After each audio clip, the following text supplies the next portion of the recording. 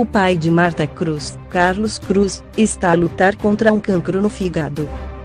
A vida não corre da melhor forma para Marta Cruz.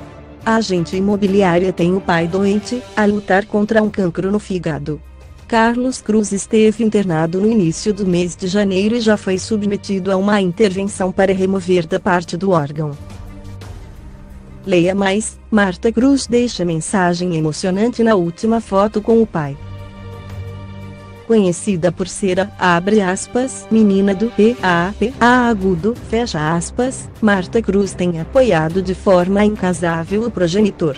Nas redes sociais, a jovem partilhou uma selfie com uma legenda peculiar.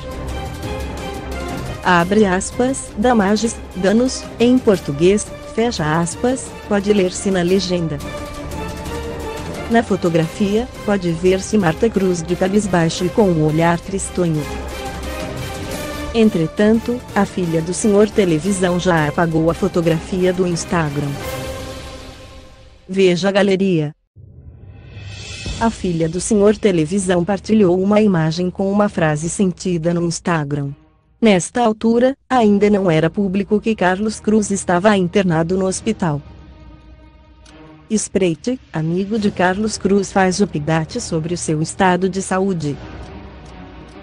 Abre aspas, segura o teu filho no colo, sorria e abraça os teus pais enquanto estão aqui.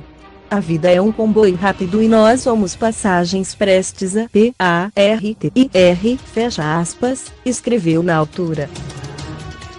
Na legenda, Marta Cruz limitou-se a colocar dois emojis, um em forma de coração e outro com mãos em oração.